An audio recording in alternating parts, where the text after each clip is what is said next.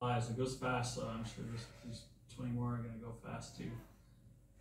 Oh man, it's, I'm just glad you guys are still around. It's it's rare for any video game